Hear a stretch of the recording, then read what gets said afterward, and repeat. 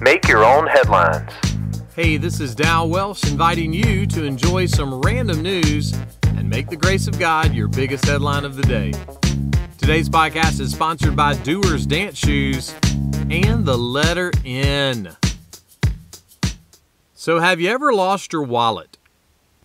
Kian Hogan was flying from New York City to Dublin, Ireland, and realized he had left his wallet on the plane.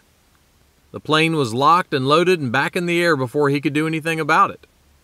But he had a tracker on his wallet that was connected to his cell phone. So he got to watch his wallet fly back to the United States. He said it was no big deal if he didn't get the wallet back because it was empty. There was no money in it. Speaking of keeping track, how do ranchers keep track of all their cows? They keep a catalog. In the letter from Jude in the Bible, there is a very simple challenge toward the end of the letter that goes like this Keep yourselves in the love of God. In other words, if you can make one thing a habit in your life, keep your heart and mind and attitude focused on the love of God. Why?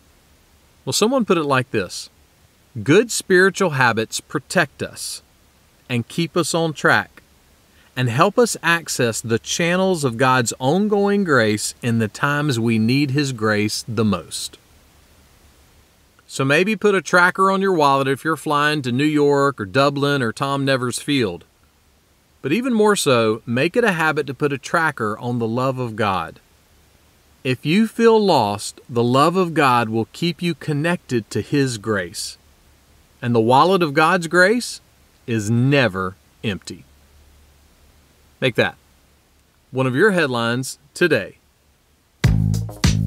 Make Your Own Headlines is a little smidge of encouragement from Holland Avenue Baptist Church. Tune in Monday to Friday wherever you listen to podcasts. You can find my Sunday messages by searching Holland Avenue on YouTube or Apple Podcast. And for more positive resources, check out hollandavenue.com.